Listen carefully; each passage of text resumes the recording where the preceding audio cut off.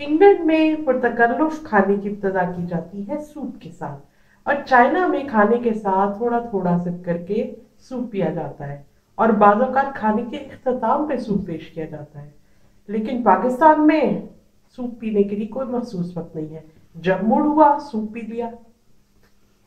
तो वही chicken corn soup जो हम सबका फेवरेट है, बनता किस तरह है? इंग्रेडिएंट्स तो चंद है। और वो क्या है? हमारे चैनल को लाइक करें, शेयर करें, सब्सक्राइब करें। और ये बेल बटन ज़रूर दबा दें ताकि जो भी मैं अपनी न्यू वीडियो अपलोड करूँ, आपको फ़ौरन नोटिफिकेशन मिल जाए। चिकन कॉर्न सूप बनाने के लिए मैंने तकरीबन आधा किलो चिकन लिया है। अब चिकन की बोटियों का इंतखब जो किया जाएगा, वो बहुत ज़्यादा अहम है। क्योंकि चिकन कॉर्न सूप में हमें रेशा भी चाहिए, बोटी भी चाहिए और उसके साथ साथ हमें हड्डियों का जूस भी चाहिए, जिससे यखनी बनेगी। जैसे आप ये देखें इसके अंदर ज़्यादा गोश्त नहीं है, लेकिन इसके अंदर हड्डियाँ हैं। इसी तरह जैसे ये गर्दन का हिस्सा है, जो कि हम आम तौर पे पसंद नहीं करते खाना, लेकिन सूप बनाने में बड़ा कारामद होता है। इसी तरह ये जो एक विंग्स का हिस्सा है, या इस तरह की छोटी मोटी बोटियाँ, ये भी गर्दन की बोटी। लेकिन इतना ही लेना काफ़ी नहीं है, क्योंकि हमें सूप के अंदर कुछ ना कुछ चिकन भी चाहिए है तो उसके लिए ज़रूरी है कि कुछ पीसेस हम इस तरह के नहीं जैसे ये सीधे रेशे वाली बोटी होती है।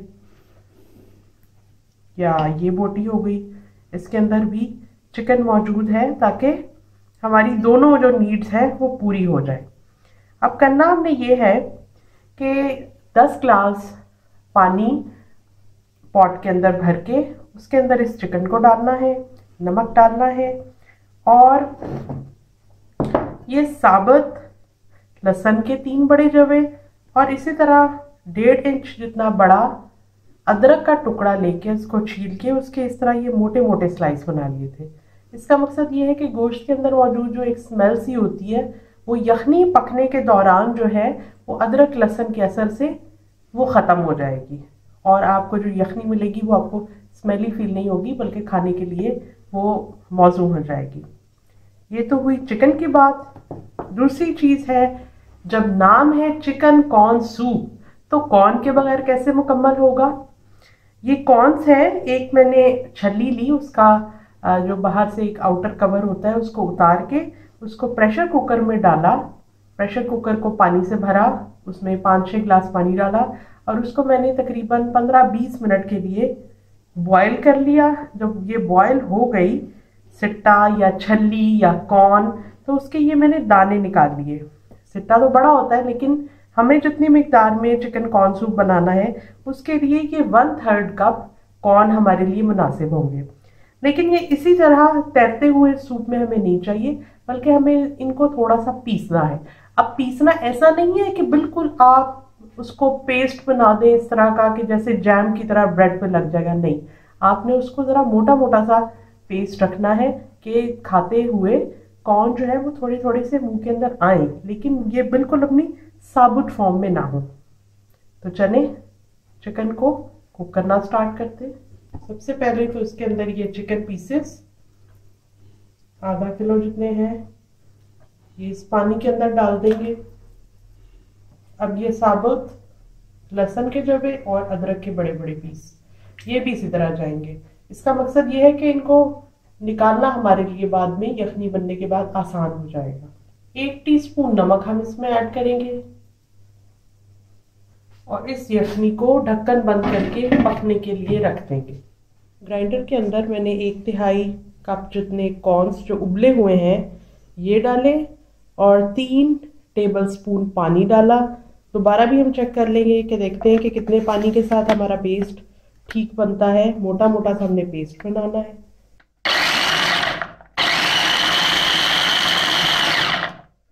अभी भी मोटा मोटा कॉर्न का दाना मौजूद है। इसलिए थोड़ा सा हम और पानी डालते हैं। एहतियात की ज़रूरत है, एकदम से हमने इसको पतला नहीं करना, इसलिए दो टेबल स्पून पानी और डाल दिया। ये जो कॉर्न चूँकि कम मकदार में है तो इसलिए हमें दोबारा इसको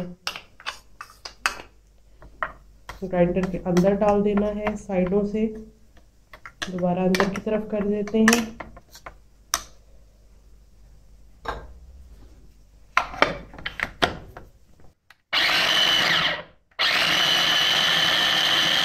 मैं आपको दिखाती हूँ कि किस फॉर्म में कौन है।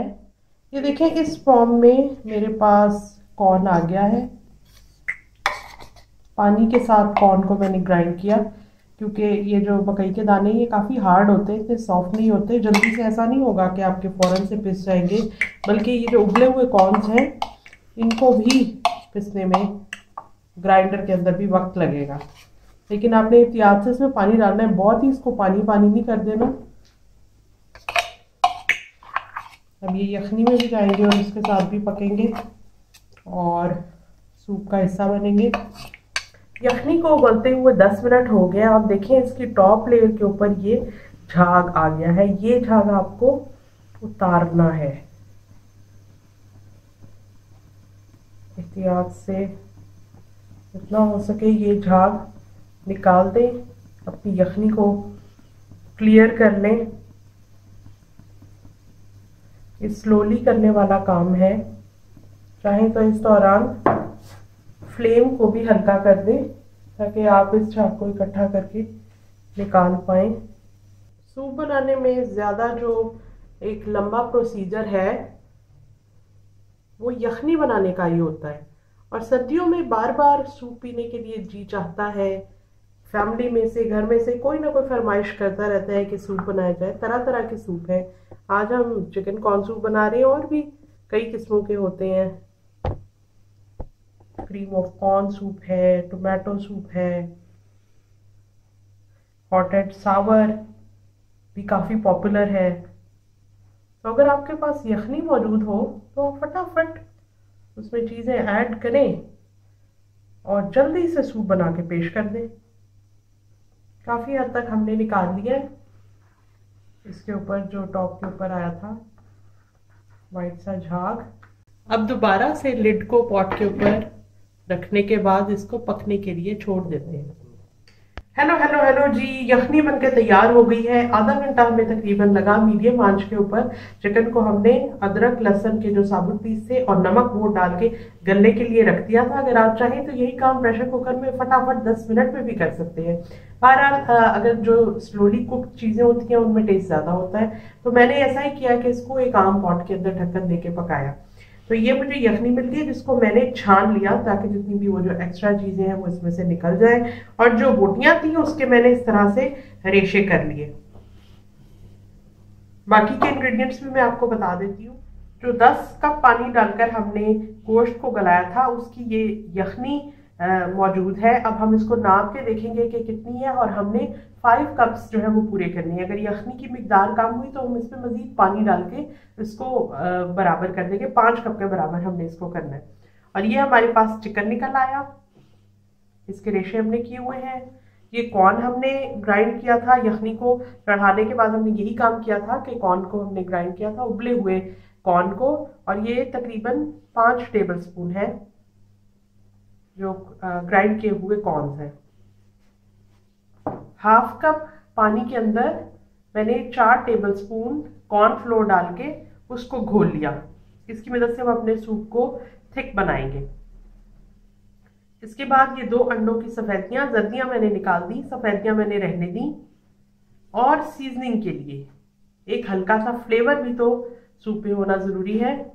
तो उसके लिए चौथाई टीस्पून काली मिर्च पाउडर और चौथाई टीस्पून ही सफ़ेद मिर्च पाउडर। अब आप चाहें तो सिर्फ़ काली मिर्च पाउडर का भी इस्तेमाल कर सकते हैं, लेकिन जो ऑथेंटिक रेसिपीज़ होती हैं, उसके अंदर सफ़ेद मिर्च का इस्तेमाल किया जाता है। और अगर आप चाहते हैं कि आपकी रेसिपी ओरिजिनल के करीब तरीन बने तो ज़ाहिर है कि आपको उसी तरीके के मुताबिक चलना पड़ेगा। सफ़ेदियों का भी ऐसे ही है कि कुछ लोग तो पूरा अंडा इसमें ऐड कर देते हैं, लेकिन ओरिजिनल जो रेसिपी है, उसके अंदर सिर्फ़ सफ़ेदी को ऐड किया जाता है। नमक को भी हमने करीब रखा हुआ है टेस्ट करके देख लेंगे, अगर नमक कम महसूस हुआ तो इसमें हम और ऐड कर देंगे। चूँकि ये जो चिकन कॉर्न सूप है, इसको सॉसेस के साथ प्रेजेंट किया जाता है सोया सॉस चिली सॉस और विनेगर वगैरह तो इसलिए हमें इस बात को मद्देनजर रखना होता है कि सॉल्ट हम अपने सूप में ज़रा कम रखें ताकि ऐसा ना हो कि सॉल्ट जो है वो बहुत ज़्यादा तेज़ हो जाए और हमारे लिए बैलेंस करना मुश्किल हो जाए। तो चले स्टार्ट करते हैं। सबसे पहले तो नापते हैं कि ये यखनी कितनी है? एक कप यखनी का गया हमारे पॉट के अंदर। दो कप। यखनी को मैंने नाप के डाला। वो जो टेन कप्स थे, उसमें से ड्राई हुआ, वो फाइव कप्स ही पानी था और ये हमारे पास फाइव कप्स ही यखनी रहेगी अगर यखनी कम रह जाती तो फिर मैं इसके अंदर मजीद सादा पानी ऐड करके इसको थोड़ा सा पका लेती। लेकिन चूँकि अब वही मकदार मौजूद है जो हमें चाहिए थी तो लिहाजा हम सबसे पहले तो ये करेंगे कि इसको सीज़न करेंगे। मैंने आपको सफ़ेद मिर्च पाउडर और काली मिर्च पाउडर का बताया था कि वो हम शुरू में ऐड करेंगे। अगर बाद में कॉर्नफ्लोर वगैरह डालने के बाद हम ऐड करेंगे तो वो अच्छी तरह से मिक्स नहीं हो पाएगा। तो इसको इसके अंदर ऐड करते हैं।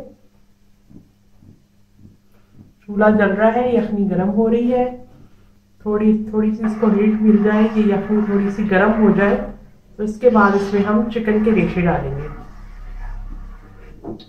चाइनीज़ खानों का ये है कि आप इसको पकाकर फ्रिज में रखें और फिर दोबारा से रीहीट करके इस्तेमाल करें तो उसकी शक्ल बरकरार नहीं रहती।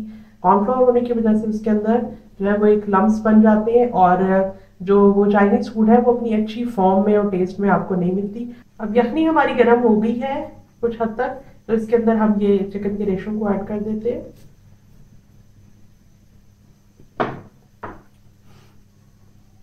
साथ ही ये ग्राइंड किए हुए कॉर्न को भी। थोड़ा सा मजीद हीटअप हो जाए तो इसके अंदर मैं कॉर्नफ्लोर ऐड करके सूप को थिक बनाऊँगी। इस स्टेज पे मैं नमक को ज़रा टेस्ट कर लेती हूँ। मेरा अंदाज़ा है कि हाफ़ टी स्पून जितना नमक जो है वो इसमें और डालना पड़ेगा। चेक करके देखते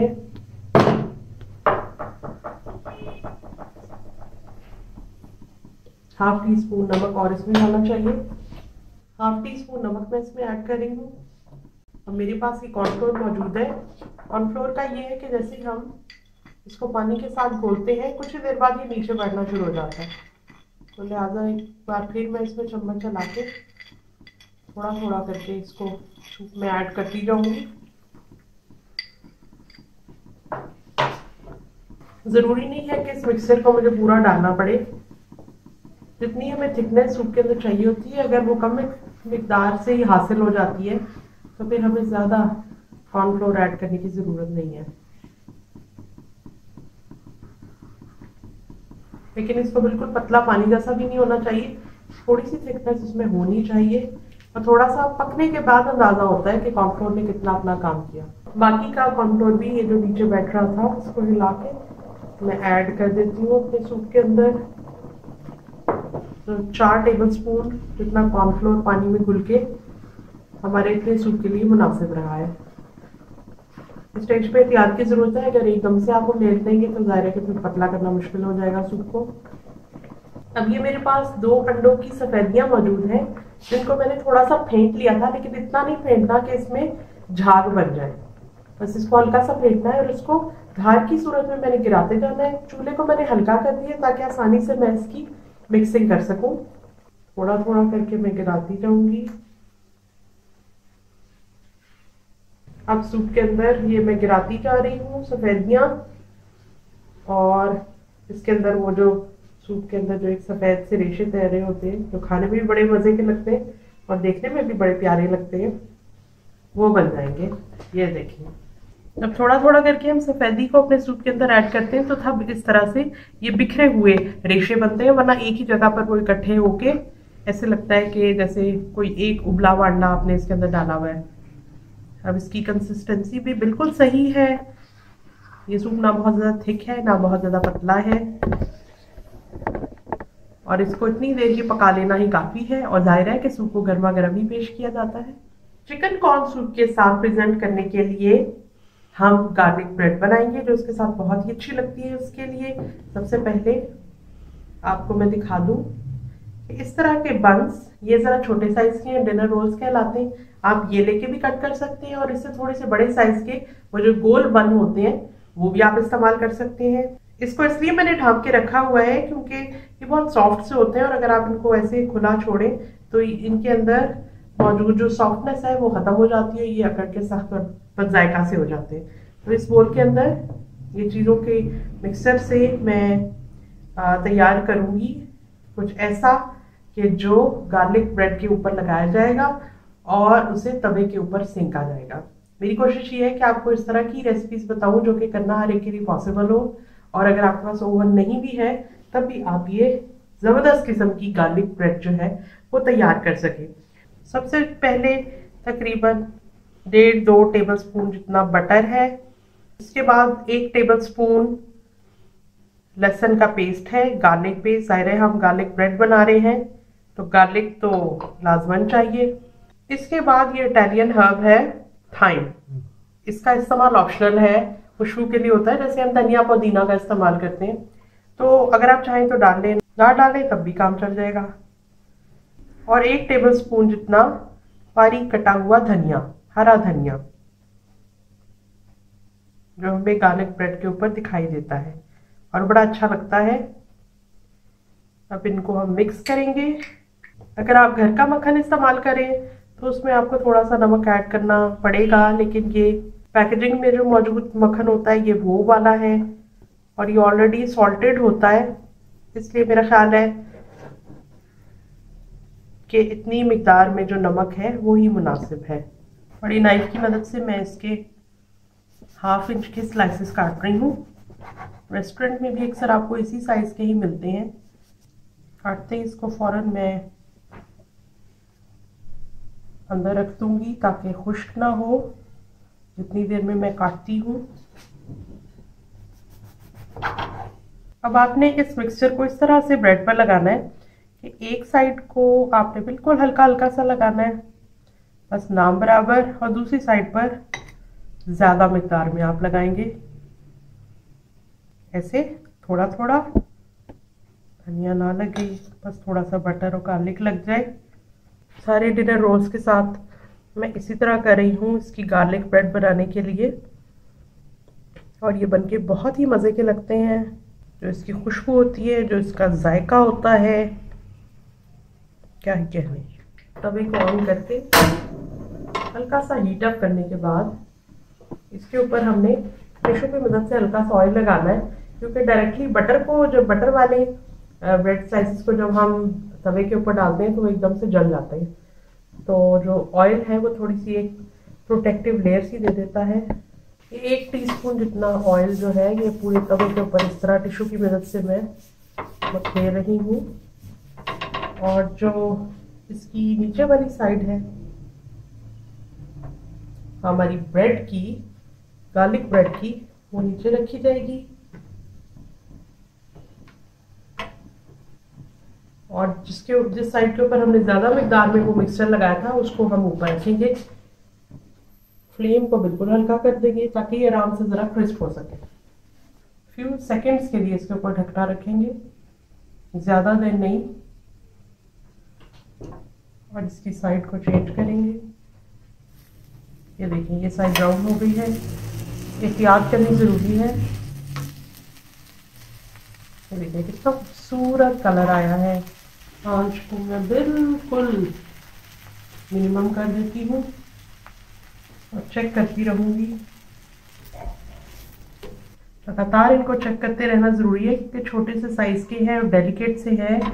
लहसन को जलना नहीं चाहिए। चिकन कॉर्न सूप भी रेडी हो गया है। इसके ऊपर मैंने ये हरे प्याज के जो ऊपर ग्रीन वाले पार्ट्स थे, उसको काट के डाल दिया गार्निशिंग के तौर पे। और इसके साथ मैंने रखा, इसको मैं सर्व कर रही हूँ red chilli sauce soya sauce और विनेगर के अंदर ये थोड़ी सी ग्रीन चिलीज को काट के डालने के बाद। और इसके साथ ही हमारे बहुत ही ज़बरदस्त, खुशबूदार टेस्टी इसको खाने का हर वक्त दिल करता है। किसी भी वक्त सामने आ जाए तो आपका हाथ रुक नहीं सकता। देखने में बहुत खूबसूरत लग रहा है खुशबू भी इसमें बटर और गार्लिक की कमाल की आ रही है। खाने वाला दांत दिए बगैर रह नहीं सकेगा।